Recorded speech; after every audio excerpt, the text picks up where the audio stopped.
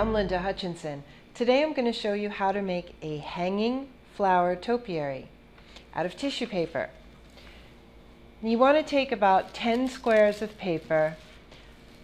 I'm using an assortment of um, pastel colors, but you can use whatever you'd like. You want to fold them in an accordion way about an inch and a half to two inches in each fold. You go ahead and do that. Doesn't have to be exact. Then you want to secure the middle. You can use a rubber band, wire. I'm going to use this cable. I already tied a ribbon. So I'm going to slip that on the cable. This is what we're going to tether it to the ceiling or whatever you hang it from, doorway, whatever. So I'm going to go ahead and I'm just going to zip that around the middle of the tissue paper, securing it tightly.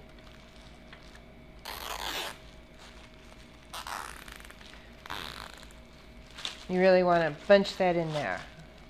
Okay, and you can trim off the excess like that.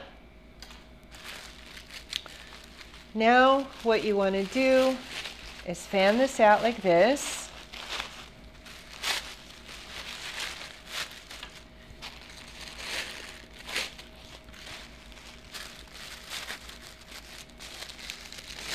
And just crinkle these up. If you want, you can trim the edges in different shapes.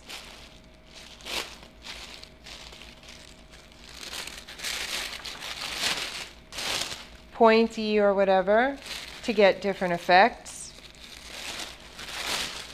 And just crinkle them up, spreading them out as you go along. And just keep going around, playing with it.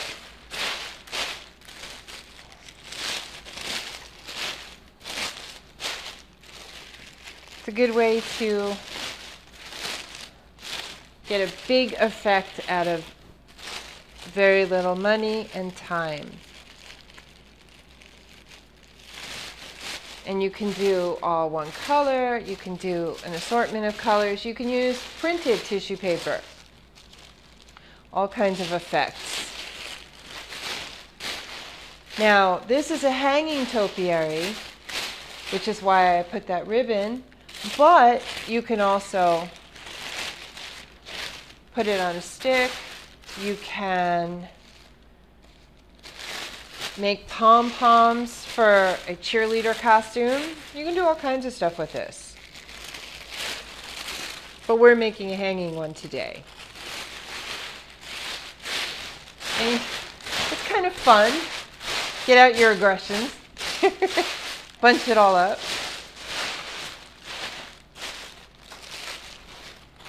And just keep playing with it until you get the effect that you want. And that's how you make a hanging paper topiary. My name is Linda Hutchinson, and thank you so much for joining me. Bye-bye.